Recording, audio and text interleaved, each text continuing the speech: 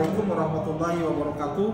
Di hari Kamis tanggal 7 Juli 2022 Saudara-saudara Ketika Pak Zaini Mustafa dan teman-teman Yang difasilitasi oleh Yayasan 5 Pilar Pelita 5 Pilar Menggeruduk rumahnya Jam'an Mengerti masuk tanggal 27 Juni yang lalu Ketika itu Pak Zaini Mustafa berjanji akan mendatangi rumah Jam'an lagi dengan masa yang lebih banyak jika uh, jilid satu itu tidak mendapat tanggapan yang dari Jaman. Nah, ternyata tidak mendapat tanggapan apa-apa dari Jaman dan kali ini Pak Zaini Mustafa dan Yayasan Peneliti Lima Pilar uh, akan memenuhi janjinya untuk mendatangi lagi Jaman untuk masuk dengan membawa korban-korban investasinya Jaman yang lebih banyak.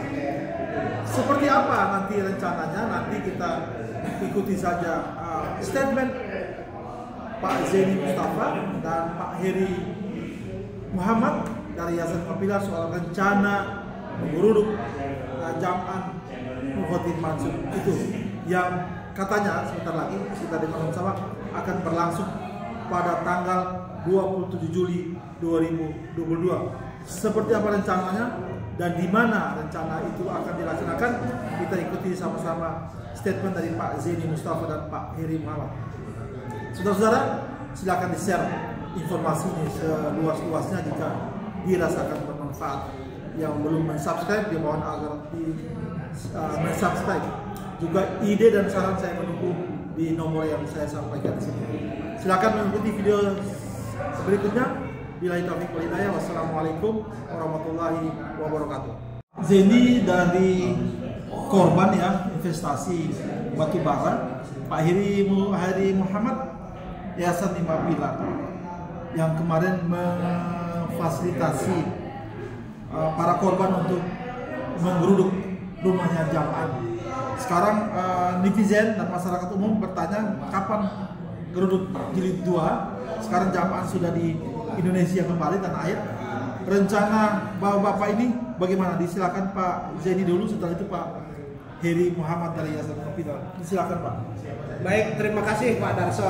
Memang ini menjadi banyak pertanyaan dari masyarakat kapan akan melakukan uh, penggerudukan atau uh, mengadukan kepada institusi terkait lainnya Memang kemarin pada saat silaturahmi silaturahmi ke rumah Jam'an atau Yusuf Mansur itu kan yang bersangkutan tidak ada di rumah sehingga tidak bisa uh, tidak ditemui atau tidak me, tidak ada solusi.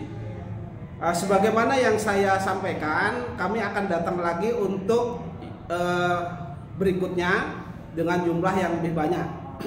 Tapi mungkin kami akan datang kepada uh, kami akan datang kepada PPATK terlebih dahulu dengan beberapa uh, investor ya mendatangi PPATK terlebih dahulu. Rencananya ini rencananya akan kami lakukan pada hari Rabu tanggal 27 Juli 2022 dengan masa yang cukup. Tujuannya adalah agar PPATK membekukan seluruh rekening dari Jam'an dari dari Jam'an Nurkotin Mansur atau Yusuf Mansur dan keluarganya atau kroni-kroninya atau perusahaan-perusahaan jadi rekening-rekening dari perusahaan itu. Maka kami akan mengadukan itu ke sana agar PPATK mengambil sikap yang sebijak-bijaknya ya. agar tidak ada korban berikutnya. Begitu. Pak Heri Muhammad Yayasan Lima Pilar Pak masih Yayasan Lima Pilar masih bertanggung jawab dalam kegiatan ini ya Pak? Iya Pak. Jadi begini Yayasan Pelita Lima Pilar itu diberi kuasa oleh teman-teman korban atau yang mengaku korban investasi dari proyek-proyek yang diinisiasi oleh Yusuf Mansur. Jadi karena mereka sendiri-sendiri itu tidak mampu, tidak berdaya untuk menghadapi itu, maka mereka meminta bantuan ke lima pilar. Lima pilar akan mendampingi mereka, baik itu dalam bentuk apa eh, mendatangi pihak-pihak tertentu termasuk ke rumah Yusuf Mansur dalam kasus-kasus hukum.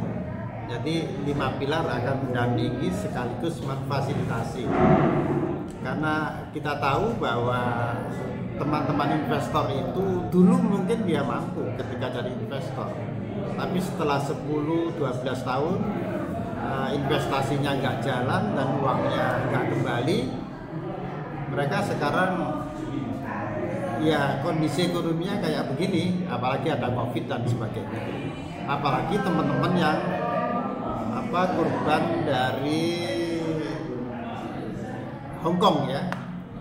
Eh, para TKW Hong Kong itu ketika di Hong Kong mereka masih fan-fan aja. Begitu nyampe ke Indonesia mereka butuh sekali uang itu. Dan ini yang selalu mereka perjuangkan dan mereka minta eh, pelita lima pilar mendampingi itu yang kami lakukan Pak Zaini, Pak Heri, ini ke PPATK ini berupa demonstrasi atau berupa dialog atau apa Pak? menyampaikan aspirasi tapi dengan jumlah peserta yang cukup banyak. Gitu ya. Ya.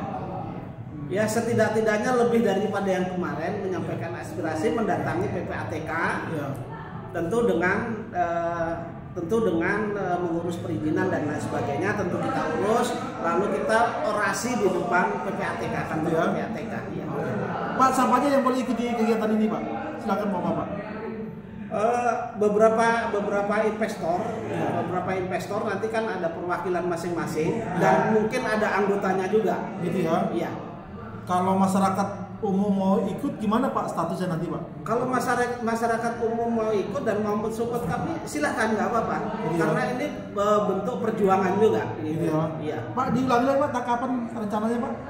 rencananya pada hari Rabu tanggal 27 Juli 2022 Gitu ya Pak. iya Kita geruduk kali ini geruduk PPATK Ya. masih mempersoalkan jam roti masih ya Pak. iya Oke, terima kasih Bapak-Bapak. Semoga kegiatannya berjalan lancar dan dicatat sebagai amal ibadah semuanya. amin amin amin, amin.